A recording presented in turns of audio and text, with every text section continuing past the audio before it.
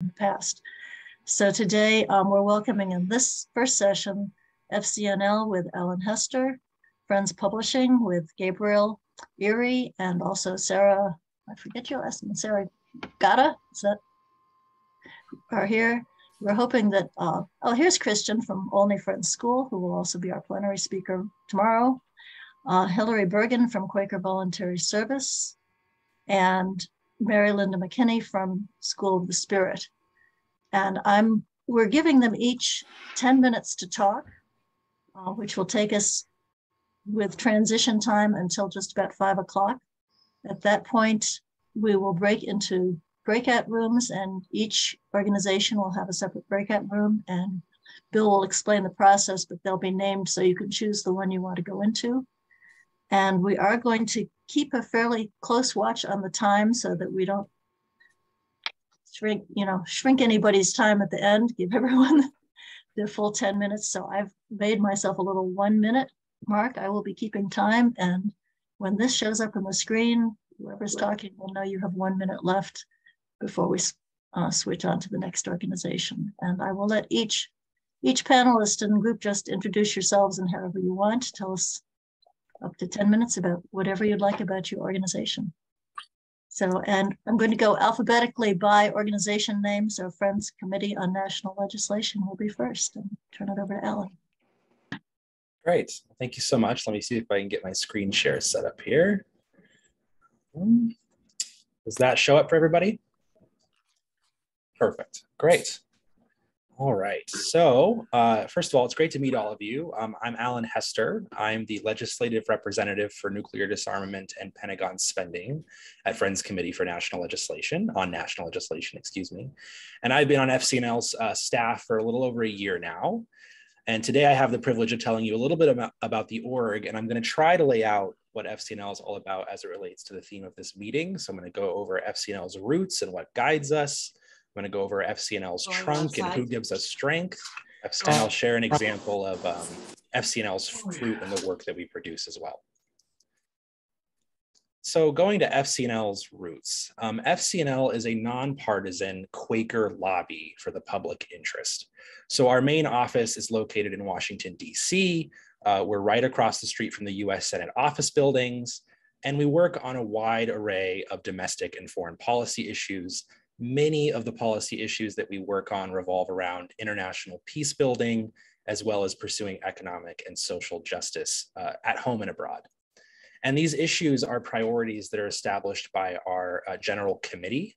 Um, we pursue legislative policies that are informed by our belief that there's that of God in every person and that all creation has worth and dignity.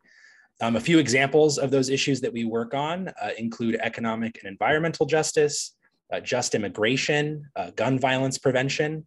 And on the foreign policy side, uh, that includes US wars and militarism, international peace building, and nuclear weapons, just to name a few. And our approach to this work and our theory of change revolves around this idea um, of the importance of deep listening, of long term relationship building with activists and policymakers, and talking to all parties and policymakers. Uh, again, we're nonpartisan and we are willing to talk with anybody who has uh, the ability to influence uh, policy in a positive way. And we work on these issues from a faith perspective, which really gives us an opening to policymakers on both sides of the aisle that a lot of other groups just don't have. Um, our faith perspective often kind of creates cracks in the traditional partisanship that we're seeing uh, in, in DC uh, more than ever these days. So FCNL's trunk, or you know, what gives us strength as an organization? Um, and I think it's really that our approach is this multifaceted approach that draws on a couple different levels. The first is uh, the expertise of expert lobbyists. So these are full-time staff that work at our DC office. Um, they're all experts in the given area that they work. Um, and on top of that, we also work with the commitment and passion of people all across the country um, in our advocacy network. And I know that there are some advocacy team members here today. Um, we have over 120 advocacy teams across the country, and working with the lobbyists, we can be really strategic about how we engage with different members of Congress, whether we want to do constituent outreach for lobby teams that are across the country, or if we have a professional staff member in DC that has built a relationship with staff on the Hill. And those two parts of FCNL really work to cultivate long-term relationship building with policymakers and their staff.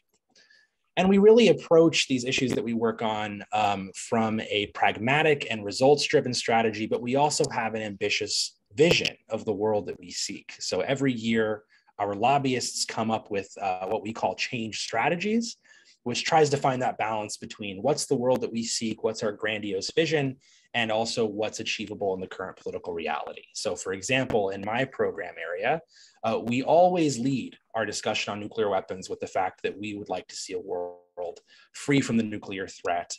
And from there, we start working with offices and advocates to figure out what's possible uh, in the current political reality.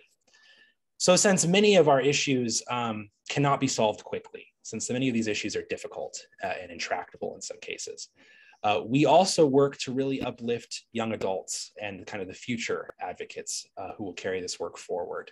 And so we have a young adult program where we provide training and resources to empower younger advocates. We also have a program assistant program, which is where uh, for 11 months, a young professional can shadow our expert lobbyists in DC and they get hands-on experience uh, setting up lobby meetings, being in the meetings, getting constituents to join, working with coalitions, um, and both of these programs are really aimed at empowering the next generation of peace builders to carry this work forward, which I think gives FCNL a lot of longevity. But it is this combination of lobbyists, advocacy teams, young adult programs, and these deep relationships with policymakers that makes FCNL so effective and which really gives us a lot of longevity. So FCNL's fruit, I think the results of this approach, um, you know, we do provide a lot of educational resources that I think give a better uh, vision. It gives a better idea of the vision of the world we want to see. Um, but we really also have a lot of successes creating real policy change and making impact on people's lives in a very real way. And I don't have time to talk about all the positive change that we've done, but for this year, I thought I'd hone in on something that's accomplished uh, in my program as an example. So one of the issues that we work on in the nuclear weapons work uh, is something called the Radiation Exposure Compensation Act, or RECA. Um, when US nuclear weapons were first being produced and tested, a lot of Americans were exposed to high levels of radiation that caused a lot of health issues. Um, and those individuals uh, in communities, uh, you know, a lot of cancer was created by, by an unhealthy amount of radiation exposure. We just didn't have that much information on what was too much radiation exposure at the time. And in fact, the real first victims of US nuclear weapons were not the victims of the attacks on Hiroshima and Nagasaki, but actual US citizens who were just unknowingly exposed. So the Radiation Exposure Compensation Act compensates those US victims, and that compensation is crucial for their healthcare costs. And we have worked to keep that program from expiring and to expand it to communities who are not currently covered. And it was actually set to expire uh, of July this year. Um, Istra Furman, who you see in the middle of this slide, was my program assistant this year. Uh, she was really drawn to this work. And due to COVID 19, she was doing her work from Texas. And that ended up being really amazing because from Texas, she was able to build relationships with impacted individuals and communities, uh, local advocates in Texas and New Mexico. And she was bringing those advocates into lobby meetings uh, over Zoom, uh, which she would usually do in person in Washington, D.C. And after about 10 months of embodying this approach, she was able to build Republican support uh, for, from Texas lawmakers to support extending the Radiation Exposure Compensation Act. And that program was extended and signed into law this year, adding an additional two years to the program, which gives us more time to push for um, extension and a expansion of the program to other communities. So that's just one example um, of how our approach has been effective and how we make impacts. Um, and before I let you go, I thought I'd share a couple resources if you want to learn more about what we do. I'm going to put these in the chat really quick if I can find my way there. Let me see. I may have to close this out actually. Oh, here, perfect. So I'm sharing a link to FCNL's website where you can see all the issues that we work on. I'm also sharing a link for our governance in case you're curious about how we arrive at the issues that we work on and who's part of that process. Um, and then I've also shared a link to FCNL's work on Ukraine. I think that that's one of the areas that we get the most questions right now. How are we advancing nonviolent strategies and diplomacy um, after the events of the invasion of Ukraine? Um, and that link will take you to all the writing and materials that we've produced relevant to that. But it's certainly impacted almost all the issues that we work on on the foreign policy side. Um, but with that, I want to say thank you for letting me participate at this yearly meeting. It's been great to learn from all of you, and I'll pass it on to the next panelist.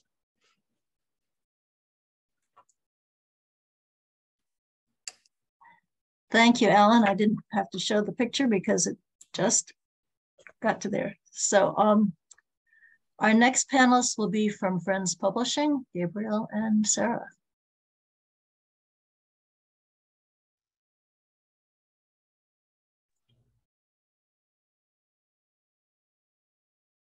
Hello, everybody. Uh, thank you to Lake Erie Yearly Meeting for uh, hosting these annual sessions online and, and a way that makes it uh, possible for us to participate from uh, from all over the place. Uh, so I'm coming to you from my home in Philadelphia. My name is Gabe, and uh, I've been with Friends Publishing since 2004, and in my current role as executive director since 2011. So uh, happy to share about uh, about my organization, uh, starting with the roots. So Friends Publishing uh, got its uh, start uh, in back in 1827, publishing a magazine called The Friend. And at the time, we had uh, not unlike we do now, uh, differing factions in the Religious Society of Friends, and the Friend was uh, was coming out of the Orthodox uh, side of uh, mostly Philadelphia yearly meeting. Um, in 1844, an, a rival arose in the Friends Intelligencer uh, from the uh, representing the Hicksite uh, Friends, and um, one of the neat things about this organization is that it actually came into being uh, in the merger of these two these two Quaker groups. Um, uh, in 1955 when the when the Hicksite and Orthodox branches reunited in Philadelphia yearly meeting. They actually combined organizations and joined forces to create in 1955 what has been uh, continuously published since then as Friends Journal. So for a long time, we've been Friends Journal, uh, and uh, so Friends Journal uh, is a has has been a magazine largely circulated among Quakers for a very long time, uh, and which has flourished now for 67 years. Uh, we are a monthly uh, monthly publication now uh, uh, in color since 2013 with readership worldwide. And uh, we have a we have a mission which um, I like to spend a little bit of time on because I think it uh, it explains what um, what we try to do. Um, our mission is to communicate Quaker experience in order to connect and deepen spiritual lives. And I, would like to point out a couple things about this. The mission is not just to communicate Quaker experience to Quakers. Um, it's really to communicate what Quakers experience in our in our faith, in our meetings, in our religious experience uh, outward among Quakers, but also to the world. Um, it also uh, emphasizes that we really serve to connect people. Um, what any of us experiences in our own Quaker meeting is is fairly limited, and it can be profound. Um, but what I think is wonderful about media is that we have the ability to take Quaker perspectives, Quaker ministries, Quaker testimonies, and really re- refine, curate, and bring them out into the world where anybody can access them. So, you know, for the for the first um, uh, century of our existence almost uh, uh, in, as, a, as a publishing concern, you really would have had to walk into a Quaker's living room or into a meeting house in order to, um, you know, encounter what we, uh, you know, what we encapsulate in our pages. And um, what's exciting now is that anybody with an internet connected device anywhere can um, can you know read uh, an article that one of you may have written uh, or watch a video that uh, that uh, one of you appears in, or that that features one of our great Quaker organizations. Uh, and among uh, among the partner partnering organizations that we feature include, I think, all of the organizations who are participating in this panel, which is really cool. Um, the branches of our work now include not just the magazine, but our websites. Uh, we have friendsjournal.org. Uh, we have Quaker Speak, the uh, video series, which we uh, started in 2013. And we have Quaker.org, which uh, we are building out to be a, a place for people to find basic information about Quakers. So delving down a little bit more into what these have, uh, friendsjournal.org is now the world's largest free archive of Quaker content. Uh, every Friends Journal since 1955 is scanned and available. Uh, there's no paywall. Uh, so really the entire um, history of, of, of, all of the, the thought and spirit that has gone into uh, the Friends Journal is available to anybody. And, and this the website reaches hundreds of thousands of visitors every year. Um, the print magazine continues. Uh, it's been uh, recently redesigned to make it more readable. Um, and we really try to cover uh, both uh, news among the Quaker world. Uh, we have feature articles about topics that are important to us uh, as friends. And we are really trying to live into um, live into our our place in the Religious Society of Friends to hold space for important conversations. Um, and so one of the uh, magazine covers you see here is from the March issue this year, where we talked about safety in meetings. Um, and we, it was a really, I think, um, important issue uh, of Friends Journal for the Religious Society of Friends because um, we need to be a safe religious community. And we uh, what we learned as we were putting this together that there were a lot of individuals from across Quakerism who felt like they were alone in worrying about harassment or um, mistreatment, various forms of behavior that occur among humans and also in our Quaker meetings, and that can lead to an unsafe environment. And so, in addition to um, covering this topic uh, in the articles in that issue, we um, arranged a, a, panel discussion where we brought together authors from that issue um, and all sorts of in, interested folks from across the country um, to to talk about these things and talk about how we can make our meetings safer. Um, and I, that's the kind of thing that is again is something that technology is enabling, which is really exciting um, because it opens up new avenues for us in our work. Quaker Speak, uh, which many of you are probably familiar with, uh, now publishes 20 plus new videos a year. Uh, we're up to over four and a half million views. Um, and uh, this is a project where we are using uh, the medium of video to introduce people anywhere to uh, Quakers, what we think about, what we talk about, how we practice our faith. Um, and it's been really um, exciting to see how many how many uh, you know friends I'm introduced to um, through watching these videos, and and how many people are encountering Quakers for the first time in such a you know a, a connected way um, through this uh, through this project. Here are a few of the uh, recent videos that we've um, that we've featured this season. Um, and uh, if you haven't uh, kept up with Quaker Speak, I encourage you to click on over to quakerspeak.com and uh, sub subscribe so that you learn when there's a new video. Um, but we really uh, try to cover uh, not only the basics of Quakerism, but delving a little bit deeper. And we've found some really interesting folks to talk to, um, inclu including um, uh, the, those you see here. Uh, and then finally, our newest uh, our newest project is Quaker.org, which we're building out to be a hub for basic information for people new to Quakers. And all of these uh, all of these uh, websites, friendsjournal.org, Quakerspeak.com, Quaker.org, uh, lead people to ask where can I find Quakers. And I'm happy to report that uh, hundreds and hundreds of people every every month are using our online meeting listings to um, once they've gotten hooked to, to find real life Quaker communities that they might, they might connect to, which is exciting. Um, so these are our websites. Um, uh, I hope you'll, you'll, check them out. They've been recently redesigned and uh, there's really a treasure trove of content there. Um, how can we, how can you share in these fruits?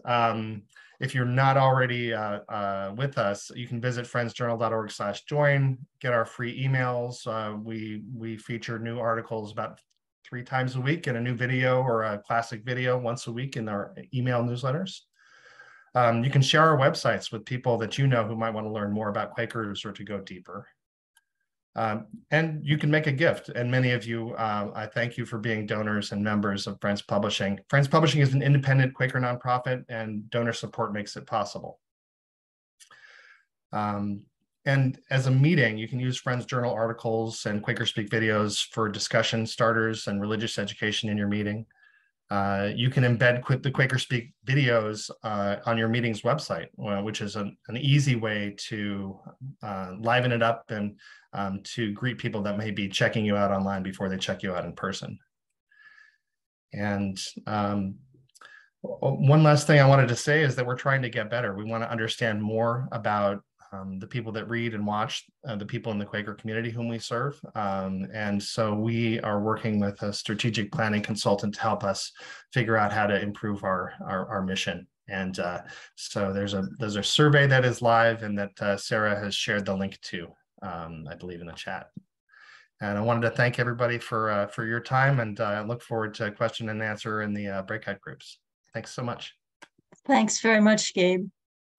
Um, it's going to be hard to choose which group to go to at the end, we'll, they'll all be there. Um, next, um, we will have Christian Acemah, who is the head of Olney Friends School, um, who's closer to home.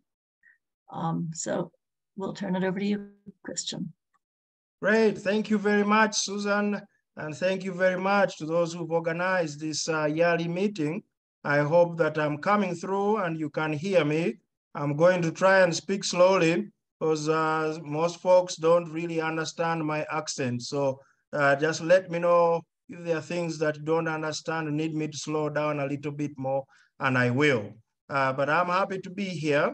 And as far as Olney Friends School goes, with our history uh, founded in 1837 uh, by the rural farmers, Quaker farmers, who wanted a safe place for their children to God's school and pretty much protect them from the outside world and also allow them to experiment a little bit, but within the confines of the Quaker testimonies. And to this day, surely even in uh, Barnesville where we are based, we have people who uh, do not know what happens back there uh, on that farm. And when they come to interview for jobs, for example, or just pop onto campus, they say, we didn't know all these buildings were here. We didn't know that you had this school here. So we still have that legacy of a kind of a buffer. Uh, and it has helped us as well uh, during this pandemic. So that, that's that legacy issue. As far as our mission, I think it's really stayed the same since the founding, except uh, a little bit keeping with the times as well. Uh, right now, we, do our very best to prepare our students to uh, go out in the world and spread good. And we do that in a couple of ways. There is, of course, the academic side where you have to, uh, you know, prepare students to go on and thrive in college and uh, post high school education. But beyond that, provide that framework where if they're out in the world, not necessarily in the academic world, they can uh, seek to create common meanings and understandings with different people who might not look like them, who might not speak like them, who might not really care about the same things, but deep down, what is there? And we really try to model that at the school uh, through, and that's that's that's been a sustaining mission for us. And the worst thing for me as a head of schools is for a parent to say, my child left Olney and couldn't survive a week in, in a youth hostel in Europe or couldn't survive two weeks in college, then I feel we failed the student. And uh, uh, the good thing, we haven't had those complaints in a few years. So, you know, there's that renewed focus on vigor and rigor in everything we do, but of course, always guided by the SPICES. And I say that very seriously because every time I've been to a meeting of uh, friends, heads of school, I'm always reminded, they say, you are that school. Uh, you are that school in Ohio where you actually practice Quakerism. You don't just talk about it. You practice it and live it. And I say, yes, that's the school. And that's what makes it uh, simultaneously rewarding uh, and also intense because it takes an investment of your whole self uh, in the school and in the students. And that is exactly what makes it uh, worth uh, uh, living there, worth uh, working there. And then it becomes more than a job. It really becomes part of who you are. I, I, didn't know that I would be at Olney at this point in my career, but now that I'm in it, I, do, I don't know how I, could be anywhere else but Olney. And uh, that, that I'm grateful for as an alum of the school. As far as our outcomes, I mean, uh, you know, the, the, you know, the, the fruits, the leaves, I'll say there are many. We could go on for a week, but this past academic year, I was especially touched by the way uh, the, our community welcomed a student from uh, Afghanistan who had gone to uh, Islamabad to get her visa. And she took that trip on her own. She got her visa, went back to Kabul, and the day she got to Kabul, that's when Kabul fell. So she had to figure out a way to get herself on a flight uh, to Europe, which she did. And she kept on writing me and saying, do I still have a place at all? And I said, you do. And you've had a visa. So you have the US visa, please get here. All you need to do is to get here and we'll sort out the rest. And you know, this, this, this, this, this wonderful, wonderful student showed up. She sent me an email saying, I'm now in Munich. The Germans are going to let me in without a Schengen visa because I have a US visa. Will you still pick me up at the airport? I said, Solny, of course, we'll pick you up from the airport. And sure enough, two days later, uh, through another circuitous route through Switzerland and all, she made it to Pittsburgh. We picked her up, very shy at first, didn't know what to do. And you know, how we had to you know, just meet her exactly where she was. And that is that's the power again, that is the, the community uh, beauty of Olney where we said we need to suspend all of our suppositions and preconceptions about the student. None of us has been to, you know, to lived in Afghanistan the way she has. None of us has been to Islamabad to get a visa. So listen to what the students saying. And slowly but surely, we got to know uh, the students. Slowly but surely, she got to, you know, getting warm and trusting with us. Slowly but surely, we got to say things we took for granted. Uh, playing soccer, for example, said, I can't believe it. Today I'm going down to play soccer. I've never played soccer ever. I've never had the opportunity to play soccer. And I'm playing soccer with other students. I'm playing soccer with boys. This is something different. And so bits and pieces kept on coming. And then she just was so wonderful in educating the community about uh, Islam, why she still practiced, why it was important for us to recognize Ramadan. And our kitchen manager just swung into action and made sure she had the meal she needed at the time she needed during uh, the fasting period, and other students filled in. So for me, that story exemplifies the kind of fruits that come from uh, uh, uh just exposing yourself to Olney giving your all to it because um, that story is, is going to be with her and she loves the school so much to the point she's told her other we've seen a, a, rise in applications from Afghanistan, uh, largely because of her saying, yeah, this school just doesn't talk about inclusion and bring everyone in. It means it and walks the talk. So surely we do stumble from time to time, but that is one of the things I wanted to highlight as an outcome.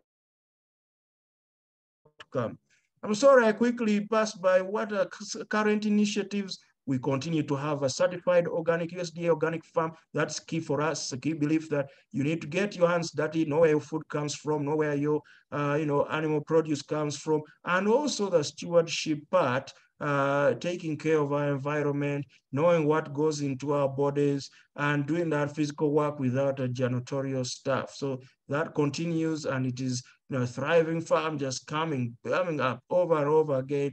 We keep saying, how do we invest more into the farm? How do we integrate our farm and classroom and kitchen to make it uh, seamless, all under the umbrella of uh, the Quaker testimonies. So, and that's now what we encapsulated in our transdisciplinary curriculum that aims to answer questions that transcend uh, disciplinary boundaries. And that's really answering questions that strike at the heart of humanity that you can't just answer with you know, a single discipline or a flippant answer. You have to reflect. You have to draw on different faculties. You have to draw on your mind your heart, your soul really engage with these kinds of enduring questions. So that is my little introduction to Olney Friends School. I have many stories and everything else we can hear in the breakout room. And if you can still hear me now, say, okay, this is the power of connectivity and Zoom. I'm on, I'm on my annual leave in Uganda and I'm still able to connect with you. So uh, wonderful to be here once again. Thank you so much, Christian. Coming to us from Uganda, that's amazing. okay. Um, and we welcome our next speaker from QVS, Quaker Voluntary Service, um, Hil Hilary Burgin. Hi, thank you so much for having me. Um, it's a delight to get to hear the other speakers as well. Uh, my name is Hilary Burgin. I use she, her pronouns. I live in Massachusetts. And I've been in this role for Quaker Voluntary Service um, as the executive director for almost four years. And before that, I was the coordinator in the for the Boston program, and um, had the delight to get to open that program in 2015. So I have the joy of getting to see QVS from a couple different standpoints, and I loved the the request for this um, roots trunk branches, and I'd love to share a slideshow with you all see if this works. All right, can you, you can see it? Yeah, great. So um, here are some trees. um, on the left, we have a photo of the current Boston coordinator, my colleague Zenaida Peterson, and the fellows that were in Boston this year. And um, on the right, we have a photo of a couple of us staff on our staff retreat. So our roots. I don't know how many of you know, excuse me, know Pando. It is a stand of quaking aspens in Utah. And quaking aspens are all connected in the roots. So all of these trees are connected. It is the heaviest organism on earth. And um, I really see our friends communities uh, encapsulated in Pando and vice versa. Uh, we depend on one another we grow together we support one another as um, as some trees start decomposing and um, i'm glad to be coming out of this root system.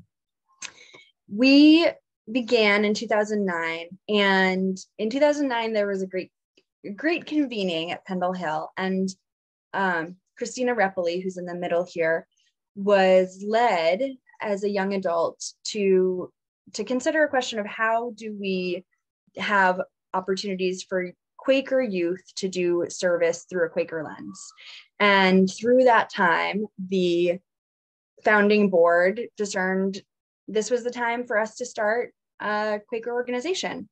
And the first cohort began in 2012. On the right, you can see our delightful first fellows, and now they're fully 10 years out of their program year almost. And um, one of them is on our board, and one of them was on our staff for seven years. So we're really involved with our alum in a variety of ways.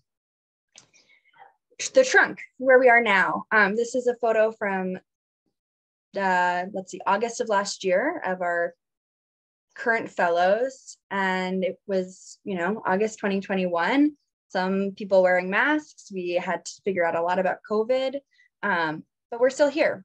So also, you might be able to hear the toddler in the background, who is my housemate, but not my child. And I apologize.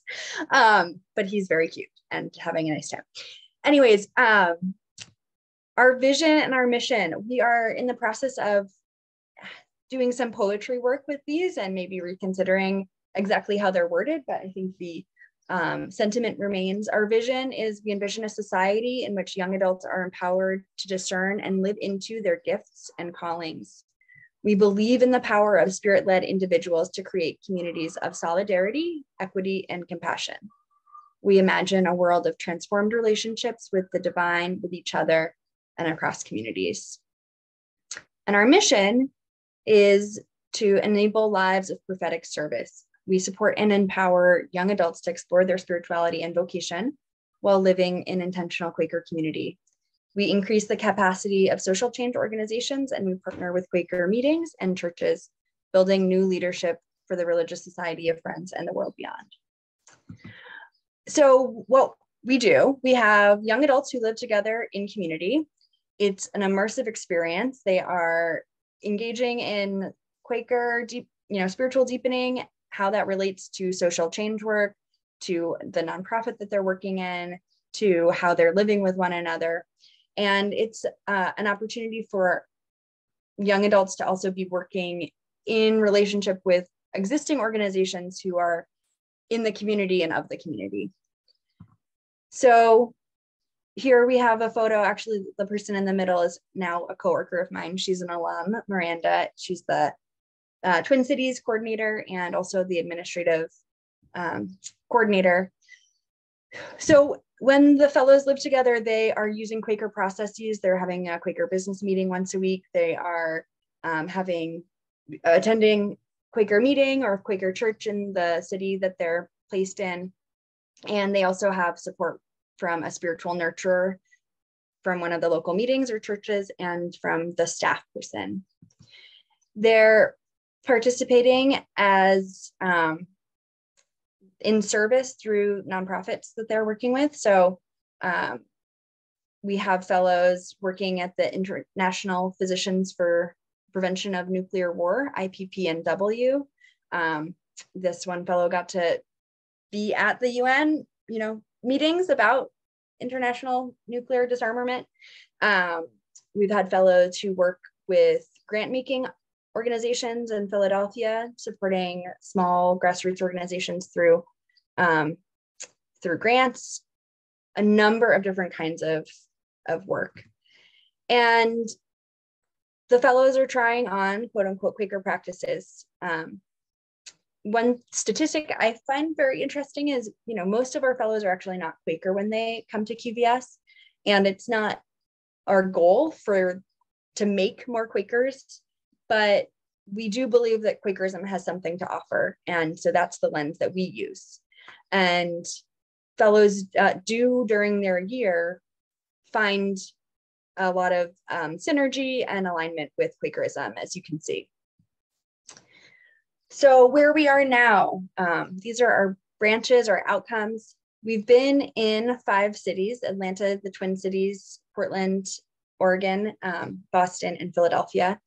And so in the last 10 years, we've had 270 young adults. I think that's fantastic. The number at the end of this year will be close to 300, which 10 years ago, I think the, the founders really would have um, been excited and surprised. You know, they started out with, I think, seven or eight fellows that first year and have grown enormously.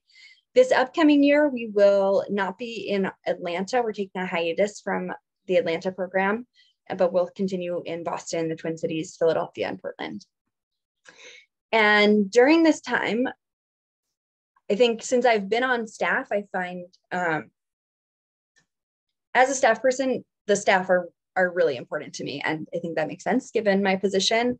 Um, these are my colleagues who I know um, how hard they work and how transforming their work is. Um, we've had the opportunity to employ 17 city coordinators, and I would say that the vast majority of those individuals have been alum. And so continuing to be a part of the vocational journeys of fellows when they become alumni has has become um, a you know an offshoot, a delightful offshoot of of our work. The budget that first year in 2012 was 160,000, and now we are at close to a million. And we have created an endowment and received first estate gifts, and um, we started the endowment through a gift from the Pickett Foundation when they were ready to lay themselves down. And I think one, the, the thing that is, um, so this is kind of like the nuts and bolts, what is QVS? What's been on my mind and heart most recently is um, a part of our work that I didn't realize we do so much of, but we do a lot of translating between generations. And I'm acutely aware of this right now because the fellows that we work with had previously, thank you, Susan, had previously been um, millennials, and I'm a millennial. I intuitively can understand folks kind of in my generation. Um, and Gen Zers feel pretty different to me. I makes me feel old, which I get laughs from other older friends about. And um, and the culture has really shifted. And what's interesting here, you'll see our generations, you know, our fellows, each star shows, you know, a couple fellows, and they're all Gen Z just about. There's a couple that are still on the cusp. Staff are majority millennial, and then most of our donors and volunteers at local meetings are Gen X and, and above. And one thing that to me um, encapsulates this translation is a lot of our fellows talk about being anti capitalist. And I was talking to a colleague who um, is in his late 50s, and he said, Well, when I was a young person, when I was growing up, capitalism was the good guy against communism. And it's you know this ingrained piece about what does capitalism mean? I think when many of our fellows use the word capitalism what they're talking about more is the inequity that they see the wealth inequity racial inequity. Um, capitalism encapsulates so much more than just a way of using money and um, and it's it's challenging it's challenging to translate so i um, I'm so glad I got to talk to you all and hopefully I'll speak more with some of you later. Um, I have a couple of links that I'll also um, drop in the chat. So there's an e-newsletter link and our website. And um, if you want to email me, go for it. Thanks. Thanks very much, Hilary. Wow, this is a full full session. There's a lot lot here, but thank you all. And our last presenter, before we go into the small groups, is Mary Linda McKinney from School of the Spirit, and we welcome you.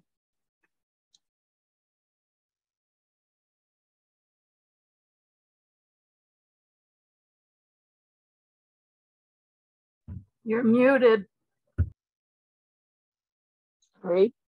I'm really glad to be with you today um, to talk about the Faithful Meetings program of the School of the Spirit. It's our latest program.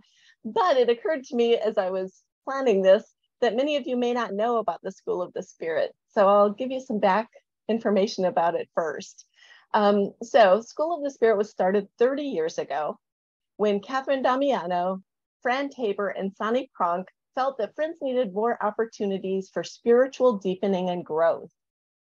They began worshiping, praying, and studying together regularly and invited others to join them. Out of this grew the leading to form a class, which grew into the On Being a Spiritual Nurturer program. The School of the Spirit was created to support this program. Over, to, over time, other programs were offered, including our ongoing Contemplative Retreats program, while the Spiritual Nurturer program remained the foundation of the organization. There have been 11 spiritual nurturer classes over the past three decades, with something like 22 people in each. That seems like a really small number, but these few hundred people have had an inordinate impact on friends. In just the past few years, the number of SN grads who have clerked FGC gathering or their yearly meeting or vital committees is surprisingly large. Graduates of the Spiritual Nurture Program, myself included, have felt our lives transformed by our deepened connection with the divine. And most of us have taken what we were given in the program into many other Quaker spaces and into the larger world. And yet, the enrollment was down considerably for the two most recent spiritual nurturer classes.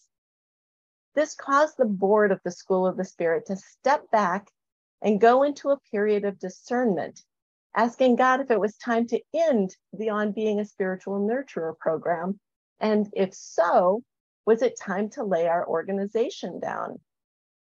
After much consideration and prayer, Spirit guided us to put the Spiritual Nurturer program on hold to recreate a new later and also assured us there was still much work for the School of the Spirit to do. This led us to a long period of discernment in which we talked with one another, worshiped and prayed together, and invited many different friends to tell us about their spiritual needs. The needs that were shared really meshed with what we'd heard from many conversations with spiritual nurturer grads. Folks would go through the spiritual nurturer program have transformative experiences, but find that their meetings didn't know how to receive or integrate the ministries and energies that were coming through them. From that time of discernment, the School of the Spirit Board was given the leading to provide spiritual formation grounded in Quaker faith and practices to Quaker meetings. Spirit gave it to me to be the creator and first facilitator of the Faithful Meetings program, and I'd like to share a slideshow with you about the program.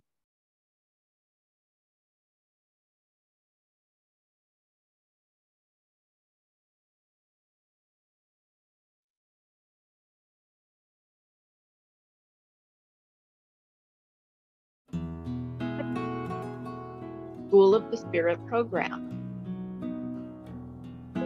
We ask in conversations formal and casual, by email, poll, Zoom, and in person, with folks who are active in their meetings and others who've moved on, we asked, What do you yearn for in your friends' community?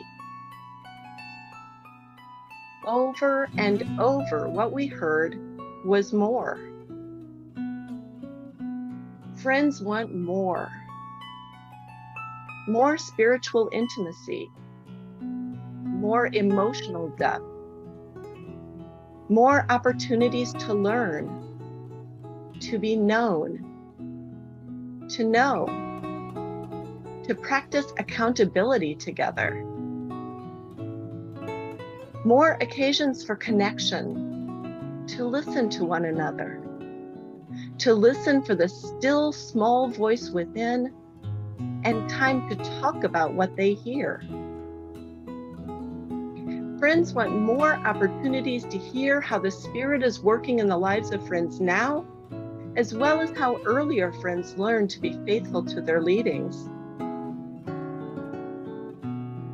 Friends told us they didn't feel they could bring their fullest selves into their spiritual communities because of who they are where they come from, or what they believe. Friends young and old, birthright and brand new, and members of unprogrammed and programmed meetings all expressed a similar yearning for meaningful connections in their Quaker communities. Christian, non theist, and a spectrum of beliefs in between Friends told us they want more openings to explore what they believe in a space that is spiritually rooted and welcoming. Friends meetings often don't know how to create this space. Cultural conformity substitutes for unity or understanding. A desire to avoid conflict discourages authenticity Quaker process and traditions sometimes obscure seeking the will of the divine. Quaker communities have good intentions, but many have lost touch with the wisdom of earlier friends. Faithful meetings will provide Friends communities with what they need to rediscover roots of our faith and to explore new models for faithfulness. During the opening retreat of this nine month program, everyone in the Friends meeting will begin to share their spiritual stories with one another. They will have the opportunity to talk about their understanding of the divine and to put words to spiritual experiences they have in and out of worship. Importantly, friends will also begin the practice of naming what they experience with one another.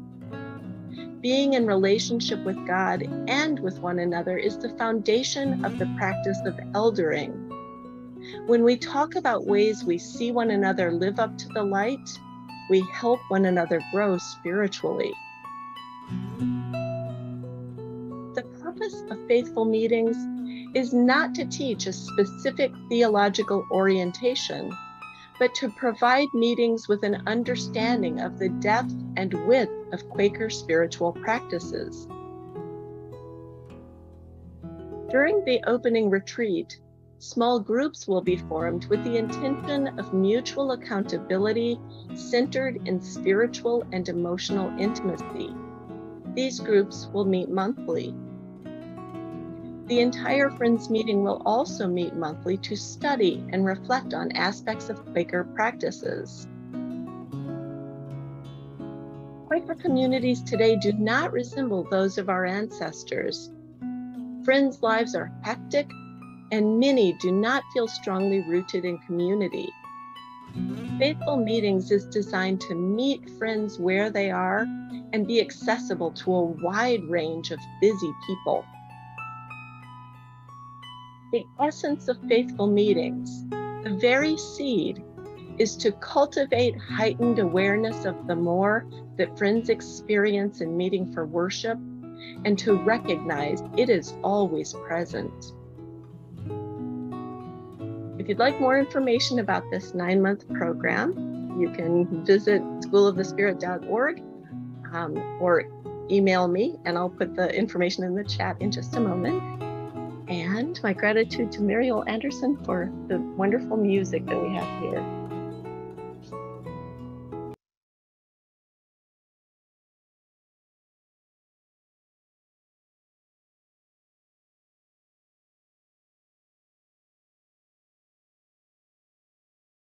Oh, thank you. Thank you all very much.